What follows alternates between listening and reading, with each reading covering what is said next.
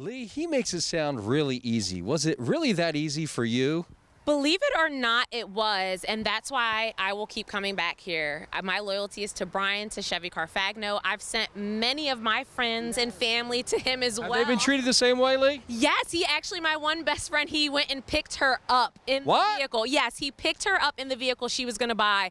And you know what? That same day, she bought that vehicle. So it speaks volumes, you know, that integrity, like he said, or just being that customer advocate, you know, especially in the industry I come from, it's the same thing. And he really did make that a very easy process. He made me feel like I was educated in the car industry and I felt comfortable. I didn't feel like, hey, I'm just coming in and I'm buying this car and I'm going to regret it. I bought the car, I loved it, and I've sent many people, and I'm going to continue to send many people his way. Now, now there's People she sent has sent people. So that's why I said trickle down effect. we're not just talking words in regards to saying I'm trying to do this.